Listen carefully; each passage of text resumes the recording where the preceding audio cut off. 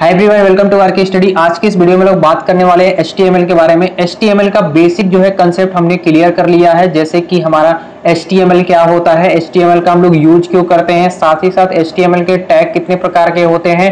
और एच के एट्रीब्यूट्स कौन कौन से होते हैं जो एच के अंदर यूज़ किए जाते हैं? ये सारी चीज़ें हमने बात कर ली है लगभग। अब हमारा जो है मेन हमने बताया था वहाँ पे कि अगर बेसिक आप कंसेप्ट क्लियर कर लेते हैं तो आप प्रैक्टिकल करने के लिए तैयार हो जाते हो। तो आज की इस वीडियो में हम लोग प्रैक्टिकल करके देखेंगे। और साथ ही साथ किस तरह से हमारे एच में ये सारे एट्रीब्यूट्स जो है टैग किस तरह से यूज़ होते हैं और हमारे पेज में किस तरह से दिखते हैं, वो सारा प्रोग्राम करके देखेंगे। और सबसे पहले हम लोग ये भी देखेंगे कि किस तरह से हम कौन सा ऐप इंस्टॉल करें अपने लैपटॉप के अंदर, ठीक है? जिससे कि हमारा एच उसमें चल जाए। तो वो सारा का सारा हम लोग बेसिक चीज़ देखेंगे। एक दो इंपॉर्टेंट चीज़ और है, जैसे कि आपका ए जो है, वो बेसिक से लेकर और प्रो लेवल तक आपका प्रैक्टिकल कराया जाएगा, जिसमें कि आप बहुत ही इंपॉर्टेंट इंपॉर्टेंट चीज़ बताई जाएगी और सारा लगभग आपको एक एडवांस जितना एस आना चाहिए, वो सारी चीज़ें इसमें कवर हो जाएगी। और आप अच्छे से एक पेज को डिज़ाइन करना सीख जाएँगे। साथ ही साथ आप जब इंटरव्यू वगैरह में जाते हैं, ठीक है तो इंटरव्यू में आप सभी लोग को एस से जितने भी क्वेश्चन पूछे जाते हैं, वो सारे आप बता सकते हैं। साथ ही साथ अपने रिज्यूमे के अंदर डाल सकते हैं और आपका जो है कंपनी में जब जॉब लग रही होगी, जब प्लेसमेंट टाइम में आपका अच्छा खासा इसमें मार्क बन सकता है। तो चलिए आज की क्लास को शुरुआत करते हैं। HTML को, जिसमें लेवल वन से लेकर, यानी बेसिक लेवल से लेकर एडवांस लेवल प्रो लेवल तक, हम पूरे HTML को पढ़ रहे होंगे। तो अगर आप वो स्टूडेंट है जिनको बिल्कुल भी कोडिंग प्रोग्रामिंग डेवलपमेंट नहीं आती है तो इस वीडियो के अंदर आप वो चीज़ें सीख जाएँगे। कोड कैसे करना होता है HTML की वेब डेवलपमेंट में इंपॉर्टेंस क्या होती है एच को एक्चुअली यूज़ कैसे करते हैं। वेबसाइट बनाने की आपकी जर्नी की बहुत अच्छी शुरुआत यहाँ पर हो रही होगी। साथ के साथ इस वीडियो को हमने चार लेवल लेवल्स में डिवाइड किया और चारों लेवल को कंप्लीट करने के बाद आप एक प्रो प्रोग्रामर बन जाएँगे HTML में। साथ के साथ इस वीडियो के अंदर हमने दो मेजर प्रोजेक्ट आइडियाज़ आपको दिए हैं, उनको कैसे बिल्ड करना है, वो भी आपको सिखाया है। तो आप अपने रेज्यूमे के अंदर डालने के लिए कुछ यहाँ से लेकर जा रहे होंगे। इसके साथ प्रोग्रामिंग के साथ साथ जो भी कोड्स हमने लिखे होंगे या जो भी नोट्स हमारे बने होंगे, वो सारी की सारी चीज़ें डिस्क्रिप्शन बॉक्स में अवेलेबल होंगी, जिनको आप कभी भी अपनी रिविजन के लिए यूज़ कर सकते हैं। अब इस वीडियो को देखने के लिए हमें दो बेसिक चीज़ों की ज़रूरत है, वो है एक लैपटॉप और साथ के साथ बहुत सारा एक्साइटमेंट जो भी चीज़ आपको पसंद आए जो भी चीज़ मैंने बोली हो वीडियो के अंदर उसको मुझे नीचे कमेंट करके बताना। और अगर ऐसी कोई चीज़ है जो आपको लगता है कि मुझे आगे की वीडियोस में एडिशनली कवर करनी चाहिए उसके बारे में आप मुझे नीचे बता सकते हैं। साथ के साथ मुझे हेल्प मिलेगी कौन सा सेक्शन ज़्यादा कवर हो रहा है। अगर आप टाइम स्टैम्प नीचे डाल रहे होंगे जैसे जैसे आप लेवल्स में आगे बढ़ रहे हैं तो, तो शुरू करते हैं यार अपने नए एच कोर्स के लिए लेकिन अपने वीडियो के लिए हम इस्तेमाल करने वाले हैं विजुअल स्टूडियो कोड यानी वी कोड का। अब जब भी हम एक प्रोग्राम एक कोड लिखना होता है तो हमें कोड एडिटर की ज़रूरत पड़ती है। तो एच का कोड लिखने के लिए हम विजुअल स्टूडियो यानी वीएस कोड नाम के कोड एडिटर का इस्तेमाल करेंगे। कोड एडिटर्स को हम इमेजिन कर सकते हैं कि वो एक नोटबुक की तरह है, जैसे नोटबुक के अंदर हम डिफरेंट डिफरेंट चीज़ें लिखा करते हैं, वैसे ही जब भी हमें कोड लिखना होता है तो उसके लिए कोड एडिटर का हम इस्तेमाल कर लेते हैं, जिसके साथ काफ़ी सारे रिसोर्सेज काफ़ी सारी चीज़ें हैं यूज़फुल चीज़ें जो हमें मिल जाती हैं। अब एच का कोड वैसे तो आपने स्कूल में अगर कभी एच पढ़ा होगा तो आप देख रहे होंगे कि नोट में भी लिख सकते हैं। यानी आपके कंप्यूटर सिस्टम में जो नोटपैड की फाइल्स बनती हैं डॉट टी से फ़ाइल बनती हैं, उनकी जगह आप डॉट एच वाली फाइल्स बनाकर भी एच लिख सकते हैं। पर कोड एडिटर जो है, हमें काफ़ी सारी एक्सटर्नल फंक्शनैलिटी देगा।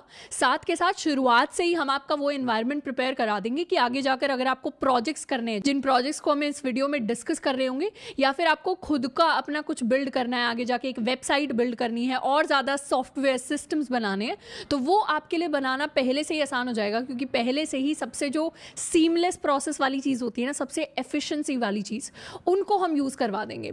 अब वी एस कोड माइक्रोसॉफ्ट की तरफ़ से फ्रीली अवेलेबल है तो इसको कोई भी जाकर इस्तेमाल कर सकते हैं। तो सबसे पहले इसको डाउनलोड करने के लिए हम सर्च करेंगे इंटरनेट पर डाउनलोड वी एस कोड तो ये फ़र्स्ट जो लिंक आएगा, इस पर हमें चले जाना है।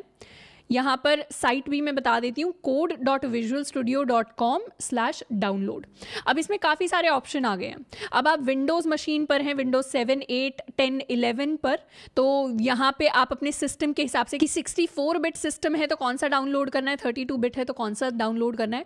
मोस्टली लोगों का जो है सिक्सटी फोर बिट सिस्टम होता है तो इसको आप यहाँ पे क्लिक करके डाउनलोड कर सकते हैं।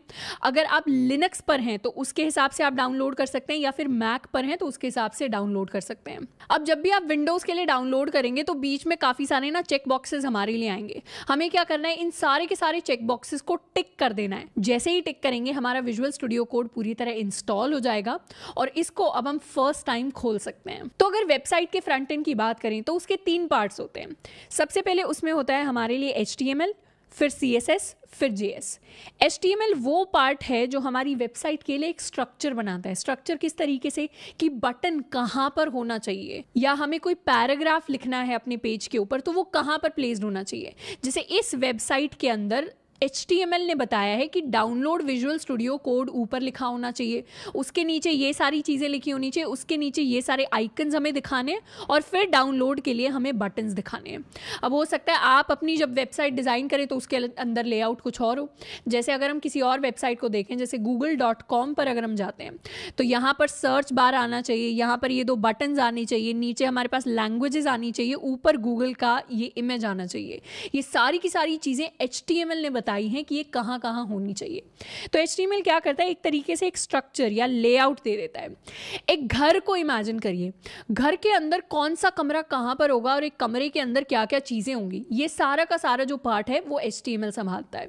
उसके बाद सेकेंड कॉम्पोनेंट आ जाता है फ्रंट एंड का सी एस क्या करता है? उस घर के अंदर दीवारों का कलर क्या होगा बटन का शेप क्या होगा साइज़ क्या होगा बटन का क्या कलर होगा, या फिर फ्लोर पे हमने कारपेट बिछाया है नहीं बिछाया, वो सारी चीज़ें कंट्रोल करते है यानी स्टाइल वाली। सीएसएस का मतलब होता है कैस्केडिंग स्टाइल शीट्स ये वो कोड का पार्ट होता है जो डिफाइन करता है कि आपका जो वेब पेज है, उसका स्टाइल क्या होना चाहिए। जैसे वी एस कोड वाली साइट पर अगर जाएँ तो यहाँ पर ये सारे का सारा जो टेक्स्ट लिखा है, इसका फॉन्ट क्या होने वाला है, इसका फॉन्ट साइज़ क्या होने वाला है, ये सारी चीज़ें जो है ना CSS कंट्रोल करेगा। और तीसरा कॉम्पोनेंट आ जाता है हमारा जावा स्क्रिप्ट जावा स्क्रिप्ट क्या करता है? फंक्शनैलिटी डिफाइन करता है। जैसे आपने घर बना लिया स्ट्रक्चर बना लिया, उसके अंदर कमरे आ गए, उसके अंदर स्विचेज आ गए, उसके अंदर लाइट है, उसके अंदर फ़ैन है, फिर आपने ये भी डाल दिया कि उनका कलर क्या होगा। अब फ़ैन फ़ैन का जब आप बटन दबाएँगे तो एक्चुअली हमारा पंखा जो है चलना चाहिए, हमारी लाइट जो है ऑन ऑफ़ होनी चाहिए। ये सारी जो फंक्शनैलिटी है, जो अंदर का लॉजिक है, वो कौन लेकर आता है? वो लेकर आता है एक वेबसाइट के अंदर जावास्क्रिप्ट तो इस बटन पर क्लिक करने के बाद मेरे लिए कुछ चीज़ें डाउनलोड हो रही होंगी, ये मेरे लिए डिफाइन करेगा मेरा जावास्क्रिप्ट तो एच स्ट्रक्चर बताता है सीएसएस स्टाइल बताता है और जावास्क्रिप्ट हमारे लिए लॉजिक बनाता है। इस वीडियो को हमने चार पार्ट्स में डिवाइड किया है, जिनको हम लेवल्स कहेंगे पार्ट्स की जगह level one level two level three and level pro level pro करने के बाद आप ऑलमोस्ट मतलब हंड्रेड से भी ऊपर परसेंटेज वाली वो सारी चीज़ें एक बार देख रहे होंगे, सीख रहे होंगे, जो किसी भी वेबसाइट को बनाने के लिए जितनी एचटीएमएल आपको आनी चाहिए। अब सबसे पहले बात करते हैं अपने लेवल वन की, जिसके अंदर हम डिस्कस करने वाले हैं about the basics of H ऐसी कुछ चीज़ें जो सारे वेब डेवलपर्स को पता होती हैं, वो आपको भी पता होनी चाहिए जब भी हम एचटीएमएल की बात करते हैं। इसमें से सबसे पहले बात कर लेते हैं कि H T M L stand for hyper text markup language यानी ये एक ऐसी लैंग्वेज है जो किसी भी वेबसाइट का जो है मार्कअप बताती है स्ट्रक्चर बताती है लेआउट बताती है. H T M L is the code that is use to structure a web page and its content मतलब किसी भी वेबसाइट पर अगर आपको कोई भी कॉन्टेंट डालना है और कौन सा कॉन्टेंट ऊपर आना चाहिए, कौन सी चीज़ नीचे आनी चाहिए, वो सब डिफाइन कर रहे हैं तो आप एच टी एम एल का इस्तेमाल कर रहे होंगे. जैसे, अगर हम इस वेबसाइट की बात करें तो इसको राइट क्लिक करके अपनी स्क्रीन पर, या तो आप व्यू पेज सोर्स करें। व्यू पेज सोर्स करके क्या होगा? इस पूरी की पूरी वेबसाइट पे जो एचटीएमएल का कोड लिखा हुआ है, वो सारा का सारा हमारे पास आ जाएगा। ये सारा का सारा जो कोड है ना, इस वेबसाइट का एचटीएमएल का कोड है। तो एक्चुअल में जो वेब पेजेस होते हैं वेबसाइट्स होते हैं, वो में दिखने में तो बहुत सुंदर से लगते हैं, पर उनके जो पीछे का कोड है ना, वो कोड एक्चुअली उस सुंदरता में कन्वर्ट हो रहा होता है और वो कोड कुछ ऐसा दिखता है और कुछ ऐसा ही कोड हम इस पूरी वीडियो के अंदर लिखने वाले हैं। अब अगर आपको किसी भी वेबसाइट का इंटरनल कोड देखना हो तो उसके लिए सिंपली क्या करना है? राइट क्लिक करना है और व्यू पेज सोर्स पे जाना है तो ये गूगल डॉट कॉम का पूरा का पूरा जो एच कोड है, वो आपके लिए खुलकर आ जाएगा। अब जब आप इस कोड को कॉपी करेंगे तो आप सोच सकते हैं कि हाँ इस कोड को कॉपी करके तो मैं पूरी वेबसाइट रिक्रिएट कर लेता हूँ, पर लॉजिकली ऐसा नहीं होता है। कुछ पार्ट्स आप कॉपी कर सकते हैं रिक्रिएट कर सकते हैं, पर कंप्लीटली किसी वेबसाइट को इस तरीके से कॉपी नहीं कर सकते, क्योंकि सिर्फ़ फ्रंट एंड नहीं होता वेबसाइट्स में बैक एंड भी होता है, पर वो सारी चीज़ें एक्स्ट्रा हैं। अभी के लिए हमें समझना है व्यू पेज सोर्स करके हम किसी भी वेब पेज का जो है एच कोड देख सकते हैं। तो राइट क्लिक करके हम इंस्पेक्ट करके इस कोड को और थोड़े से क्लीन फॉर्मेट में देख सकते हैं। प्लस ये जो एरो बटन ऊपर स्क्रीन पर आता है, उससे हम देख सकते हैं कि कितना पार्ट कौन से हमारे हिस्से को दिया गया है। जैसे, ये जो इमेज है, इसको, ये वेबसाइट का इतना डब्बा लेती है। ये जो डाउनलोड वाला बटन है, ये इतना पार्ट लेता है, ये बड़े वाला बटन इतना पार्ट लेता है। इसके अलावा ये विंडोज़ वाला जो इमेज है, इसका जो पार्ट है वो इतना है। अब ये एक बॉक्स क्यों है? यहाँ पे बॉक्स क्यों हमें बना हुआ दिख रहा है? इसके बारे में भी पढ़ेंगे कि ये कौन सा एलिमेंट होता है एचटीएमएल का। ये वाला जो बटन है, ये एरो बटन इतना सा पार्ट ले रहा है डाउनलोड वाला बटन उसके बाद जो पूरा का पूरा बड़े वाला बटन है, उसके अंदर हमारे दो तीन आप लेवल्स देख रहे होंगे कि बाहर वाला लेवल क्या है, उसके अंदर एक और लेवल का हमें डब्बा दिख रहा है, उसके अंदर एक और डब्बा दिख रहा है। तो ये सारी स्ट्रक्चरिंग होती है एचटीएमएल में। तो एचटीएमएल के अंदर एलिमेंट्स किस किस तरीके से बने हुए हैं, उनको हम एनालाइज भी कर सकते हैं। अभी के लिए बस छोटी सी चीज़ एक और समझनी है कि अपना जो पेज है, उसका साइज़ क्या है, हम उसको भी एनालाइज कर सकते हैं। जैसे हमारा जो ये वेबसाइट का पेज है, ये हमारे आईफोन 12 प्रो पर कैसा दिखेगा? कुछ ऐसा दिखेगा। हम वो भी देख सकते हैं। अगर मान लीजिए हमारे पास है गैलेक्सी फोल्ड तो उस पर कैसा दिखेगा? उस पर ये पेज कुछ ऐसा दिख रहा होगा।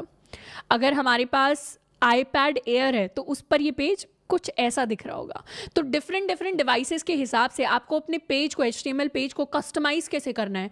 कौन से डिवाइस में किस तरीके से कोई चीज़ दिखनी चाहिए, वो भी आप स्पेसिफाई कर सकते हैं एचटीएमएल की हेल्प से। जब भी आपको देखना हो कि डिफरेंट डिफरेंट डिवाइसेस पर कैसे दिखेंगे तो ऊपर जाकर डायमेंशंस में जाना है। यहाँ से डिवाइस फिर डायमेंशंस एंड उसके बाद आपके कुछ बाय डिफ़ॉल्ट डिवाइसेस आ रहे होंगे, उनको देखकर आप चेक कर सकते हैं। जब भी कोई अच्छी सी, सुंदर सी वेबसाइट दिखे जिसके बारे में आप क्यूरियस हो रहे हो, ये बनी कैसे इसका कोड कैसा है तो आप पेज सोर्स पर जा सकते हैं और आप उसको इंस्पेक्ट कर सकते हैं।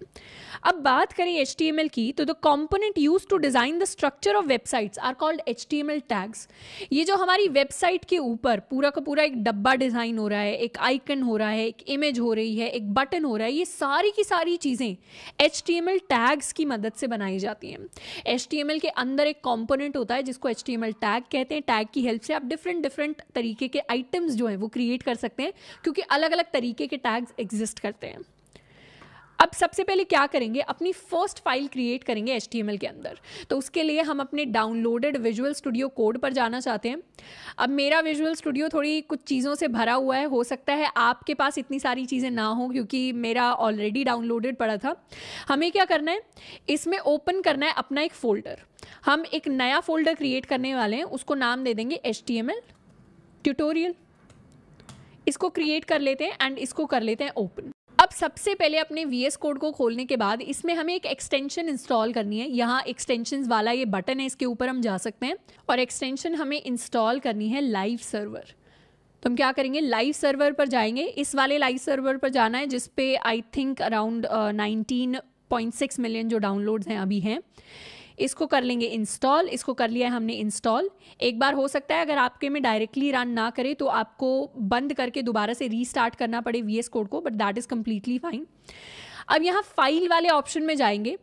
एंड अपने लिए एक फोल्डर हमने बना ही लिया था H T M L tutorial जिसको हमने खोला हुआ है। एक नई फ़ाइल बनाएँगे। इस नई फ़ाइल को हम नाम देंगे index dot H T M L और ये index dot H T M L हमारे लिए खुलकर आ गई है। अब ये जो फ़ाइल है हम ऑलरेडी डिस्कस कर चुके हैं कि आप नोट पैड के ऊपर भी बना सकते हैं, पर यहाँ पर अभी मैं दिखाऊँगी कि क्या क्या हमें फंक्शनैलिटीज़ मिल जाती हैं, जिसकी वजह से वी एस कोड या किसी और टेक्स्ट एडिटर पर करना बहुत ज़्यादा हेल्पफुल होता है as compare to a notepad अब जब भी हम एच टी एम एल की फाइल्स बनाते हैं, वो एंड होती हैं. Dot H T M L extension के साथ। इसकी जगह आप. डॉट एच टी एम जो है, वो भी लिख सकते हैं, पर यूजुअली जो मोस्ट पॉपुलर है वो. Dot H T M L है, क्योंकि वो अपडेटेड जो वर्जन है एक्सटेंशन का, जैसे टेक्स्ट फाइल्स को हम डॉट टी एक्स टी से क्रिएट करते हैं पाइथन की फाइल्स को डॉट पी वाई से करते हैं, वैसे ही यहाँ पर H T M L files को dot H T M L से हमें खत्म करके सेव करना होता है। अब जो भी एक वेबसाइट बनती है, जो भी एक सॉफ्टवेयर बनता है, उसके अंदर से फ्रंट एंड नहीं होता मतलब सिर्फ़ एच टी एम एल नहीं होता, उसके अंदर अपना एक बैक एंड भी होता है। तो index dot H T M L नाम इस फ़ाइल का रखने के पीछे लॉजिक है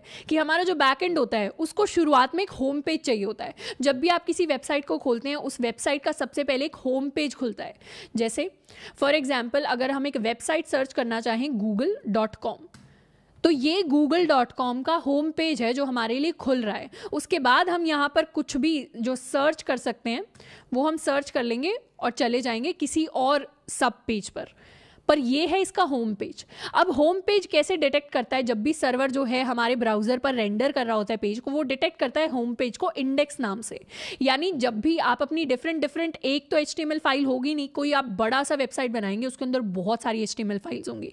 तो सर्वर देखेगा कि इंडेक्स नाम की कौन सी एच फ़ाइल आपके पास है?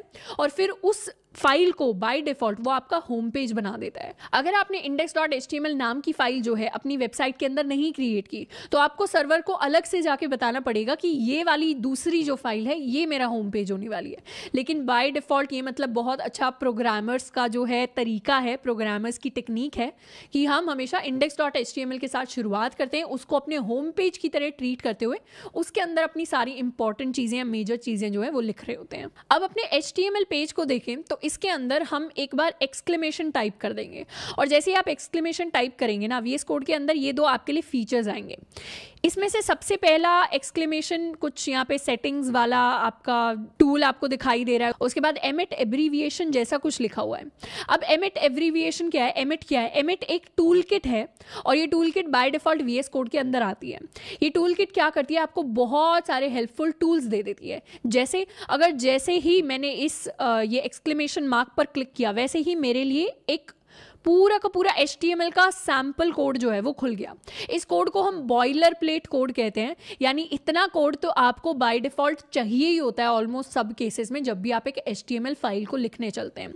ये कोड दिखने में पहली बार में डरावना सा लग रहा होगा, पर ये डरावना नहीं है। इस कोड को पूरी तरह हम एनालाइज करेंगे, इसकी एनाटमी वगैरह सब कुछ हम छान मारेंगे। बस समझने वाली चीज़ सबसे पहले ये है कि VS कोड ने आपके लिए आसान कर दिया कि आपको पूरा कोड खुद से ना याद करना है, ना देखना है, ना लिखना है। हमें सिंपली जाना है इस ऑप्शन पर और एमिट पर हमें क्लिक करके पूरा का पूरा हमें बॉयलर प्लेट कोड मिल रहा होगा। अब ये जो फंक्शनैलिटी है, ये नोट पर अगर आप कोड लिख रहे होते तो आपको नहीं मिल रही होती तो काफ़ी सारी और इंपॉर्टेंट चीज़ें जो हैं हम सीखेंगे धीरे धीरे अब एक और सवाल आपके दिमाग में आया होगा कि हमने एक एक्सटेंशन इंस्टॉल की थी लाइव सर्वर उसको हमने क्यों इंस्टॉल किया? जैसे ही हम इस एच को खोलेंगे ना, हम इधर नीचे जाकर गो लाइव में जा सकते हैं और हमारे लिए क्या होगा? हमारा पूरा HTML पेज हमारे लिए खुल जाएगा। अब अभी के लिए हमने एच में कुछ नहीं लिखा, इसलिए हमारा पेज हमें खाली लग रहा है। अगर मान लीजिए मैं यहाँ पे सैंपल के तौर पर कुछ भी लिख दूँ, अभी के लिए ध्यान नहीं देना है कि ये क्या मैंने लिखा हुआ है, इसका क्या मतलब है। सिर्फ़ देखना है। हेलो वर्ल्ड इसको कर लेती हूँ सेव और जैसे ही मैं वापस गई, मेरे लिए हेलो वर्ल्ड मेरी स्क्रीन पर प्रिंट होकर आ गया। हेलो वर्ल्ड बाय डिफ़ॉल्ट वो स्टेटमेंट होती है जो कोई भी आप नई प्रोग्रामिंग लैंग्वेज कुछ भी सीख रहे होते हैं तो कोडिंग के अंदर आपको लिखनी पड़ती है एटलीस्ट मैं तो लिखना ज़्यादा पसंद करती हूँ। तो हेलो वर्ल्ड मेरी स्क्रीन पर आ गया, मुझे कुछ रिफ्रेश या कुछ और नहीं करना पड़ा।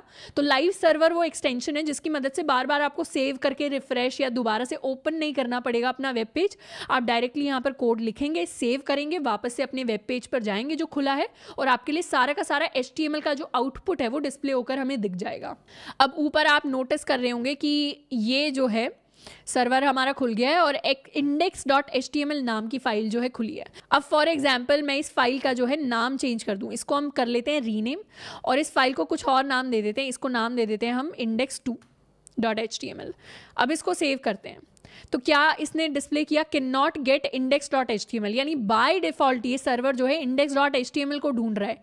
इसीलिए हमेशा ध्यान रखें कि जब अपनी first file as a home page create करें तो उसको नाम दें इंडेक्स डॉट एच अब ये जो बड़ा सा कोड हमें दिख रहा है, इसके बारे में टेंशन ना लेते हुए सबसे पहले बात करते हैं कि एच टैग्स क्या होते हैं। एच के अंदर एक कंटेनर होता है। कंटेनर यानी जैसे हमारी किचन के अंदर कुछ डब्बे रखे होते हैं, जिसके अंदर कुछ कुछ मसाले होते हैं, कहीं चीनी रखी होती है, कहीं नमक रखा होता है तो वो डब्बे हमारे कंटेनर्स होते हैं, जिसके अंदर कुछ कॉन्टेंट होता है, यानी कुछ सामान होता है।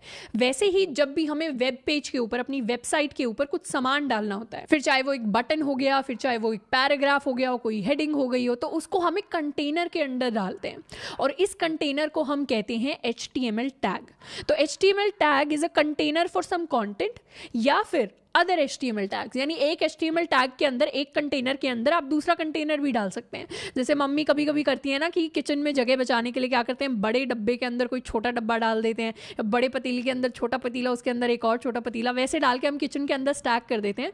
कुछ इसी तरह प्रोग्रामिंग के अंदर होता है एच में, जब आप क्या करते हैं, एक बड़ा कंटेनर बड़ा एच टैग लेते हैं, उसके अंदर छोटा एच टैग डाल देते हैं, उसके अंदर कुछ और कॉन्टेंट डाल देते हैं। तो इस तरीके का सिस्टम रहता है। इसको समझने के लिए हम एक पैराग्राफ टैग का एग्ज़ाम्पल एग्ज़ाम्पल लेंगे। जब भी हमें एक वेबसाइट के ऊपर कोई पैराग्राफ दिखाना होता है तो हम इस तरीके की कोई स्टेटमेंट लिख रहे होते हैं। इसमें ये जो फ़र्स्ट इनिशियल चीज़ लिखी है, यानी ये एंगुलर ब्रैकेट्स और इसके अंदर जो है पी इसका मतलब होता है पैराग्राफ टैग का ओपनिंग टैग इसको कहते हैं ओपनिंग टैग और इसको कहते हैं क्लोजिंग टैग क्लोजिंग टैग के अंदर आपको ये स्लैश दिख रहा होगा। एंगुलर ब्रैकेट्स के बीच में और उसके बाद अपने टैग का नाम। इस टैग के अंदर जो हम लेटर लिख रहे हैं, वो पी है, यहाँ पर भी पी है। ये है ओपनिंग टैग ये है हमारा क्लोजिंग टैग अब इन दोनों टैग्स के अंदर हम कंटेंट लिखेंगे, यानी एक्चुअल पैराग्राफ लिखेंगे। पैराग्राफ के अंदर हम कोई भी लाइंस लिख सकते हैं, जैसे दिस इज़ अ पैराग्राफ या फिर hello world I am learning H T M L today इस तरीके का कुछ कॉन्टेंट होता है। और जब हम इस पूरे की पूरी चीज़ को कंसिडर करते हैं, यानी ओपनिंग टैग कॉन्टेंट और क्लोजिंग टैग इस पूरे के पूरे मटेरियल को हम एक एच एलिमेंट कहते हैं। तो एच के अंदर एलिमेंट क्या होता है? टैग्स और उनके बीच का कॉन्टेंट जैसे अगर हम अपने कोड में एनालाइज करें तो एक बार क्या करते हैं? लिखते हैं सेम ये statement this is a paragraph तो हमारे लिए क्या हुआ? ये हमारा ओपनिंग टैग हो गया, ये हमारा क्लोजिंग टैग हो गया और बीच में हमने कुछ कंटेंट लिख दिया है। इसको कर लेते हैं सेव और इसको देख लेते हैं स्क्रीन पर। तो दिस इज़ अ पैराग्राफ हमारे लिए लिखा हुआ आ गया है। अब एक और चीज़ आपने नोटिस की होगी कि जैसे ही मैंने ये एंगुलर ब्रैकेट पी और क्लोजिंग ब्रैकेट टाइप किया तो मेरे लिए ऑटोमेटिकली जो है ओपनिंग टैग के साथ मेरा क्लोजिंग टैग भी आ गया। तो इस तरीके की भी फंक्शनैलिटी वी एस कोड जैसे टेक्स्ट एडिटर्स जो होते हैं, हमें एडिशनल देते हैं, इसीलिए उनको यूज़ करना ज़्यादा इंपॉर्टेंट रहता है। तो बार बार हमें क्लोजिंग टैग्स लिखने नहीं पड़ते। तो HTML टैग को हमने समझा कि एक कंटेनर होता है जिसके अंदर हम कुछ मटीरियल डाल रहे होते हैं। यानी वेब पेज के ऊपर जो भी कुछ हमें डलवाना है, उसको एक टैग के अंदर लिख दें। अब अपने बेसिक HTML पेज को एनालाइज करते हैं। सबसे ऊपर हमने लिखा है डॉक टाइप एच इस स्टेटमेंट का क्या मतलब है? इस स्टेटमेंट का मतलब है कि हम अपने ब्राउज़र को बता रहे हैं। कौन से ब्राउज़र को? यहाँ पर हम क्रोम का इस्तेमाल कर सकते हैं। हो सकता है आप ब्रेव यूज़ कर रहे हो या फिर फायरफॉक्स यूज़ कर रहे हो या फिर सफारी यूज़ कर रहे हो। जो भी ब्राउज़र आप यूज़ कर रहे हैं। ब्राउज़र क्या करता है? आपके एचटीएमएल के कोड को लेता है और उसको वेब पेज में, वेबसाइट में कन्वर्ट कर देता है। जैसे मेरे क्रोम ने क्या किया? इस पूरे के पूरे एच के कोड को लिया और उसने उसे इस वेब पेज में कन्वर्ट कर दिया। अब ये इतना सुंदर नहीं लग रहा देखने में, पर धीरे धीरे सुंदर हो जाएगा। इसमें हमने छोटी सी लाइन जो है वो दिखाई हुई है। तो ब्राउज़र का काम होता है अपने एच कोड को रेंडर कराना हमारे वेब पेज की फॉर्म में। तो डॉक टाइप एचटीएमएल बताता है कि जो हम डॉक्यूमेंट लिख रहे हैं, इसका टाइप क्या है? इसका टाइप है एच और इस डॉक टाइप से हमें पता चलता है कि एच का कौन सा वर्जन हम इस्तेमाल कर रहे हैं। यहाँ पर जब हम इस तरीके से लिखते हैं तो इसका मतलब है हम H T M L five का इस्तेमाल कर रहे हैं। तो वर्जन नंबर फाइव जो है हम इस्तेमाल कर रहे हैं इस डॉक्यूमेंट को लिखने के लिए। उसके बाद सेकेंड चीज़ हम देख रहे होते हैं, हमारे लिए एक एच टी एम एल का ओपनिंग और एक एच टी एम एल का क्लोजिंग टैग आता है। इसमें भी हम देखेंगे कि एच टी एम एल का ओपनिंग और एच टी एम एल का क्लोजिंग टैग आया है। ये टैग हमें बताता है कि this is the root of an H T M L document जैसे एच टी एम एल का जो पेज होता है ना, वो पूरा का पूरा बड़ा पेज एक H T M L element होता है और वो सबसे बड़ा एलिमेंट होता है। अब उसके अंदर आप पैराग्राफ डाल दें, कहीं बटन डाल दें, कहीं आप कोई हेडिंग डाल दें, वो सारे सब एलिमेंट्स हैं। यानी बड़ा जो हमारा पूरा का पूरा वेब पेज होता है, वो खुद में एक एलिमेंट होता है। उसके अंदर एक टैग होता है, उसके अंदर बहुत सारा कंटेंट होता है। कंटेंट किस तरीके से होता है? एचटीएमएल टैग के अंदर खुद के बहुत सारे टैग्स होते हैं। वो सारा एच पेज का कॉन्टेंट है। तो एच को हम रूट एलिमेंट कहते हैं क्योंकि ये सबसे बड़ा एलिमेंट है और सबसे शुरुआती एलिमेंट है। उसके बाद एचटीएमएल के अंदर देखेंगे, हमारे पास आता है हेड टैग और एक बॉडी टैग अब हेड क्या करता है? हेड वो चीज़ें बताता है हमारे एचटीएमएल डॉक्यूमेंट के लिए जो हमें वेब पेज पर डिस्प्ले नहीं करनी, जो बस हमारे कोड को पता होनी चाहिए। और बॉडी टैग बताता है वो चीज़ें जो एक्चुअली हमारे पेज पर डिस्प्ले होती हैं।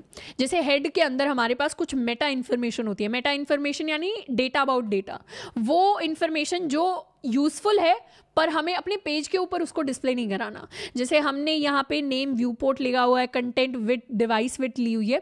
ये व्यू पोर्ट वाली जो चीज़ है, ये बेसिकली बताती है कि आपकी जो वेबसाइट है, वो रिस्पॉन्सिव होनी चाहिए। यानी अलग अलग डिवाइसेस जिनकी हमने बात की थी अभी, आपकी जो वेबसाइट है, वो आईपैड एयर पर भी अच्छी दिखे। आपकी जो वेबसाइट है, वो हमारे पिक्सल फाइव पर भी अच्छी दिखे।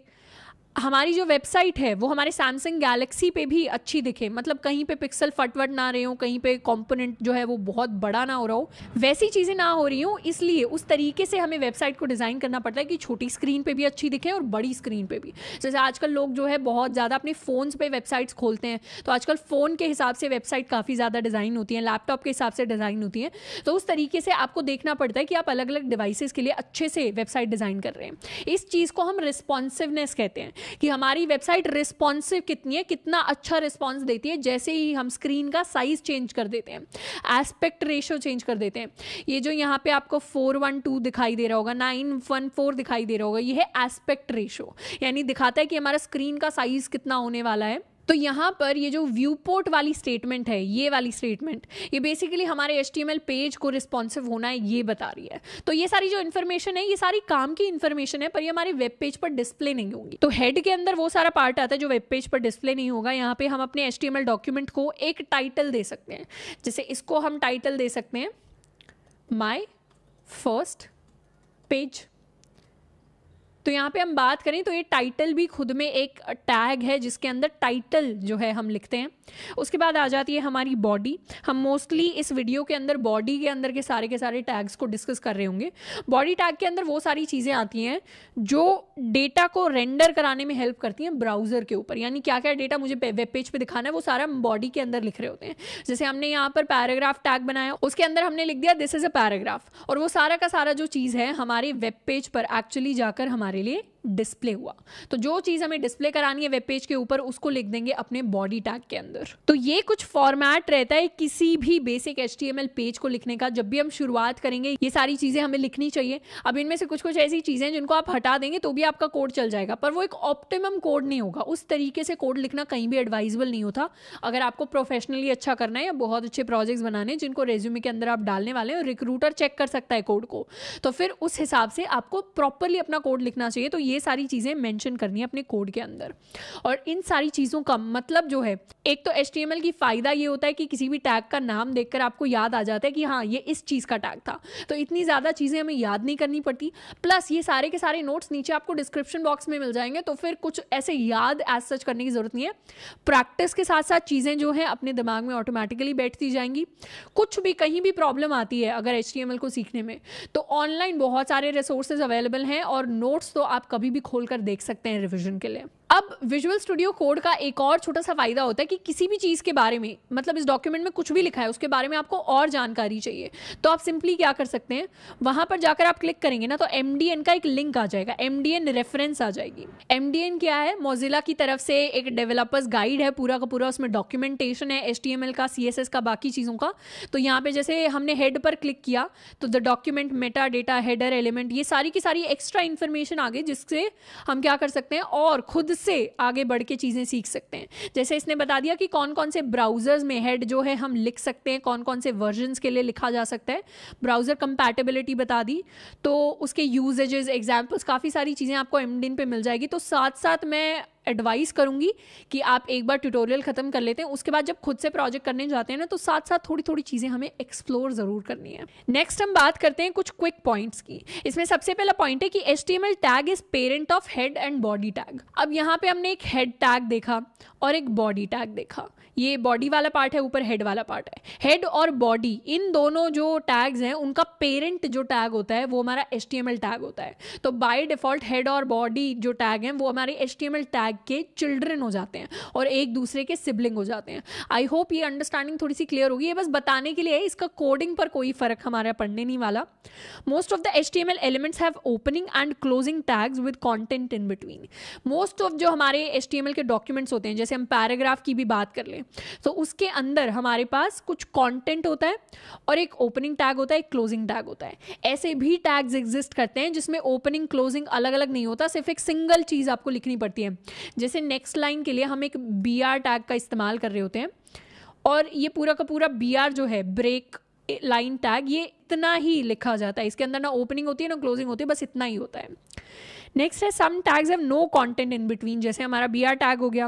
We can use inspect element या view page source to edit H T M L इसको हम करके देख लेते हैं। जैसे हमारा ये एच टी एम एल था, अब हमारे लिए ये ब्राउज़र पर पेज रेंडर हो गया। इसमें हम सबसे पहले करेंगे व्यू पेज सोर्स तो क्या हुआ? वो सारा का सारा कोड जो हमने अपनी फ़ाइल में लिखा हुआ था, वो सारा यहाँ पर लिख कर आ गया। ये वाला जो पार्ट है, इसको अभी के लिए इग्नोर करना है, क्योंकि ये सारा पार्ट ये नीचे आप जो स्क्रिप्ट टैग के साथ पार्ट देख रहे होंगे, ये सारा हमारे लाइव सर्वर ने हमारे लिए क्रिएट किया है तो इसको नहीं देखना। अभी देखना है सिर्फ़ अपने इतने एच वाले पार्ट को। तो इसको हमने फ़ाइल के अंदर लिखा था और यही सेम कोड हमारे लिए व्यू पेज सोर्स से खुल गया। तो इसमें हम कुछ चेंजेस चाहें तो यहाँ पर तो नहीं कर सकते, लेकिन हम क्या कर सकते हैं? इस पेज को कर सकते हैं इंस्पेक्ट इंस्पेक्ट करने के बाद इसका रेशियो जो है चेंज कर लेते हैं। ये पूरा पार्ट हमारे लिए खुल गया है। अब इस कोड के अंदर हम चाहें तो एडिशनल चीज़ें ऐड कर सकते हैं। जैसे यहाँ पर ऊपर हम एक और पैराग्राफ डाल सकते हैं। न्यू पैराग्राफ और इसमें भी हम अगर इसको कर लें सेव तो ये न्यू पैराग्राफ यहाँ पे आ गया। तो इस तरीके से हम ब्राउज़र पे जाके एक्चुअली अपना पूरा का पूरा एचटीएमएल जो लेआउट है कॉन्टेंट है, उसको चेंज कर सकते हैं। जो यहाँ पर चेंजेस नहीं लेकर आएगा मतलब एक्चुअल कोड में चेंज नहीं होगा, पर हमारे ब्राउज़र पे हो जाएगा। जैसे गूगल का नाम मान लीजिए, हमें आज गूगल का नाम पसंद नहीं आ रहा गूगल का नाम चेंज करके हम कुछ और करना चाहते हैं। ऑल ये वाला जो गूगल है, ये तो खुद में एक इमेज है। आप यहाँ पे स्क्रोल करेंगे तो आपको दिखेगा यहाँ पे image dot I N X D P D करके कुछ इमेज है। अब नेक्स्ट चीज़ की बात करते हैं comments in H T M L H T M L के अंदर हम कॉमेंट्स कैसे लिखते हैं? सबसे पहले बात करते हैं कॉमेंट्स क्या होते हैं। जब भी हमें कोड के अंदर कुछ ऐसा पार्ट लिखना होता है जो हम नहीं चाहते कि हमारे कोड का पार्ट बने। जैसे इंग्लिश में हमें कोई लाइन लिखनी है कि this is my first code and I am very nervous while writing it ऐसा सा हमें कुछ लिखना है कि आ, ये जो है हम एक बॉडी टैग डिफाइन कर रहे हैं। तो this is a body tag इस तरीके की चीज़ हम अगर लिखेंगे तो ये जो है, ये इसको सेव करने के बाद हम अपने पेज पर जाते हैं। तो this is a body tag हमारे लिए, हमारी स्क्रीन पर आ गया है। पर हम नहीं चाहते थे कि हमारी स्क्रीन पर आए। हम चाहते थे बस हमारे कोड में, अगर कोई और बंदा हमारा कोड पढ़ रहा है, मेरा कोई दोस्त पढ़ रहा है, या कोई और प्रोजेक्ट का पार्टनर पढ़ रहा है तो सिर्फ़ उसको ही ये पार्ट दिखाई दे। तो ऐसी सिचुएशन में हमें कॉमेंट्स की ज़रूरत पड़ती है। कॉमेंट्स हमारी फ़ाइल का वो पार्ट होते हैं जो कोड नहीं होता, पर इंग्लिश होता है। मतलब अगर आपका टेक्स्ट एडिटर जो है, हिंदी में कॉमेंट्स अलाउ कर रहा है तो आप हिंदी में भी कॉमेंट्स लिख सकते हैं। पर कॉमेंट्स की मेन बात होती है, एक ऐसा हिस्सा होता है हमारी फ़ाइल का जो कोड में नहीं आता। ये नॉर्मल हिंदी में हम इसको लाते हैं और इसको लिखने का फॉर्मेट रहता है कि आप लिखेंगे एक एंगुलर ब्रैकेट उसके बाद हमारा exclamation mark and hyphen hyphen और बाद में लिखेंगे hyphen hyphen and closing angular bracket तो इसके अंदर आप जो भी पार्ट लिख देंगे, ये सारा जो ग्रीन से आ रहा है, ये सारा का सारा एक कमेंट है. यानी ये वाला पार्ट अब अगर हम इसको सेव कर दें तो अब हमारी वेबसाइट के ऊपर, अब हमारे वेब पेज के ऊपर ये सारा पार्ट हमें नहीं दिखेगा. तो इस तरीके का कुछ फॉर्मेट रहता है हमारे कमेंट्स को हमारे कोड में लिखने का। जैसे ऊपर अगर हम लिखना चाहें this is my first HTML code इसको कर लेते हैं सेव और इसको हमने रिफ़्रेश किया तो वो लाइन हमारे लिए डिस्प्ले नहीं हुई क्योंकि वो ब्राउज़र के लिए नहीं थी। वो लाइन सिर्फ़ उन डेवलपर्स के लिए है जो हमारा कोड पढ़ रहे हैं या इनफैक्ट हमारे लिए। कभी कभी प्रोजेक्ट्स के अंदर या कंपनीज़ के अंदर जाकर आप बहुत सारा कोड लिख लेते हैं। उस कोड में ना चीज़ें कन्फ्यूजिंग हो जाती है कि यार ये वाला पार्ट किस लिए था, ये वाला पार्ट किस लिए था, ये वाला एलिमेंट कहाँ पर है, वो वाली चीज़ें। और कोई और भी आपका कोड पर आकर सेम कोड पर आप काम करें तो कन्फ्यूज़न से बचने के लिए हम बहुत बार कॉमेंट्स लिखते हैं ताकि फ़ायदा हो हमें पढ़ने में कोड को। तो कमेंट्स हमारे कोड का वो पार्ट होते हैं जो पार्स नहीं होता। पार्स यानी हमारा ब्राउज़र उसको रेंडर नहीं करता। नेक्स्ट बात करेंगे कि H T M L is not case sensitive यानी कुछ कुछ प्रोग्रामिंग लैंग्वेजेस होती हैं, जैसे आप सी का एग्ज़ाम्पल ले लें सी प्लस प्लस का ले लें पाइथन का ले लें जावा का ले लें, ये सारी जो प्रोग्रामिंग लैंग्वेजेस हैं ना, ये केस सेंसिटिव है। इसके अंदर कैपिटल ए और स्मॉल ए अलग अलग माना जाता है, पर एच टी एम एल के अंदर कैपिटल ए और स्मॉल ए सेम होता है। जैसे अगर हमने ये टैग लिखा हुआ है हेड इसके अंदर हम इसको capital H E A D भी कर दें तो भी हमारे कोड में कोई एरर नहीं आएगा। अगर हम यहाँ पर पैराग्राफ लिखना चाहें और हम इसको लिख दें कैपिटल पी तो ये भी एक वैलिड टैग है और स्मॉल पी वाला टैग और कैपिटल पी वाला टैग दोनों की वैल्यू जो है बिल्कुल सेम मानी जाएगी। तो अपने टैग्स को अगर हम कैपिटल में लिखते हैं तो कोई डिफरेंस नहीं आता हमारे कोड पर क्योंकि H T M L is not case sensitive अब हमने क्या कर लिया है? बहुत सारा एच टी एम एल के साथ बेसिक बेसिक चीज़ें सीख ली हैं। एक टैग क्या होता है उसको समझ लिया है बेसिक पैराग्राफ टैग कैसे लिखते हैं उसको समझ लिया है। अपने कोड को H T M L code को एक्चुअली रन करके कैसे देखना है ब्राउज़र के ऊपर? किसी और का कोड या अपना ही कोड एनालाइज कैसे करना है? ब्राउज़र के ऊपर ही एडिट कैसे कर सकते हैं? अपने इंस्पेक्ट को खोलकर। हमने ये सीख लिया पेज सोर्स से हमें पूरा का पूरा एच कोड दिख जाता है किसी भी वेबसाइट को, जिसको जाकर हम अपने लिए पर्सनलाइज भी कर सकते हैं। तो बहुत सारी चीज़ें सीखी हैं। अब हमें क्या करना है, इन सारी की सारी चीज़ों को सीखते हुए एक बेसिक से अपने प्रोजेक्ट की शुरुआत करनी है। ये प्रोजेक्ट होने वाला है एक पोर्टफोलियो प्रोजेक्ट इसके अंदर हम क्या करेंगे, सबसे पहले अपनी एक इंडेक्स डॉट एच वाली फ़ाइल हम क्रिएट करेंगे। सबसे पहले तो आपको एक फोल्डर बनाना है। फोल्डर का नाम हम देंगे पोर्टफोलियो पोर्टफोलियो के अंदर सबसे पहले index dot H T M L नाम की एक बेसिक फ़ाइल हमें क्रिएट करनी है, उसके अंदर बॉयलर प्लेट कोड हमें लेके आना है। उसके बाद उसमें बस हेलो वर्ल्ड हमें प्रिंट करना है, या सिर्फ़ पोर्टफोलियो प्रिंट करना है अभी के लिए। कुछ एक्स्ट्रा चीज़ें नहीं करनी, इतना पार्ट हमें कर लेना है अपने प्रोजेक्ट वन